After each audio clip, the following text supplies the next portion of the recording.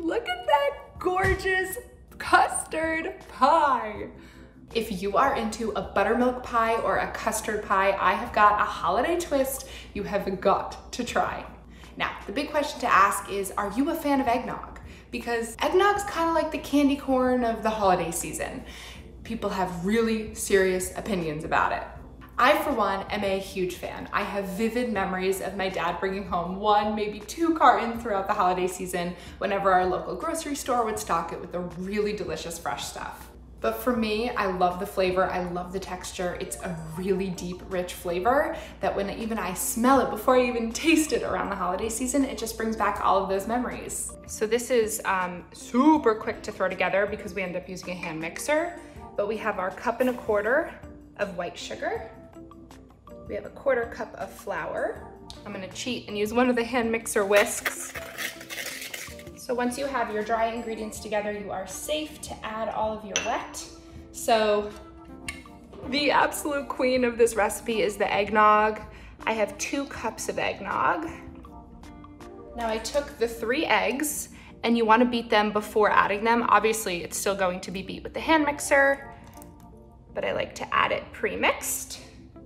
Now this one is the most important. If you've ever made a custard pie or uh, specific recipes that add melted butter to something with a bunch of egg, you really want to let the butter cool. So it does have to go in melted, but you, I threw this in the microwave 10, 15 seconds. It's a quarter cup of butter, and then it's been sitting out. So it hasn't hardened yet, but it will not start to cook the egg. That is huge, huge, huge, guys. Make sure to take note of that, please. And then we've got our teaspoon of vanilla. I'm spilling, I'm spilling. That's okay, I like extra vanilla. And then we mix, that's it. So all of our ingredients are in, wet and dry, and we mix to combine. Now this goes directly into our prepared pie crust. Guys, please feel free to lean into prepared dough. Look how easily it's unrolling.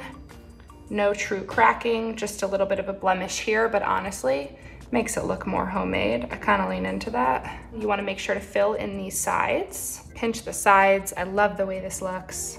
It also is gonna help me hide this little blemish here.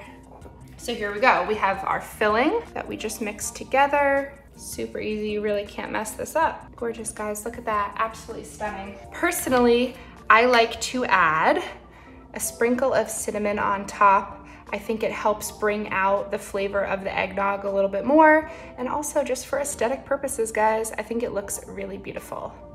Oven is preset to 350. We're gonna throw this right in. It cooks for 35 to 40 minutes. You just wanna make sure the outsides are set. So it's kind of gonna bubble up and you want this center portion to still be jiggly when you shake it. Right into a 350 degree oven. We'll be back. Look at this beauty. Oh my gosh. Honestly, the dough kind of looks rustic and homemade. I'm into it. Look at that. I let it cool um, and then you throw it in the fridge like for 30 minutes right before serving. Now that is a perfectly set custard pie. And honestly, there's something really striking about store-bought pie crust because look how perfectly freakishly even that is. My pie crust when I make it at home is never that perfectly rolled out. There's like a caramelization because of the sugar on the top. Look at that, baby. Let's try it.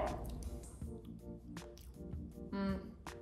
That is so, so rich. So if you are a fan of a classic buttermilk pie or custard pie, you have absolutely gotta make the swap for eggnog holiday pie this season.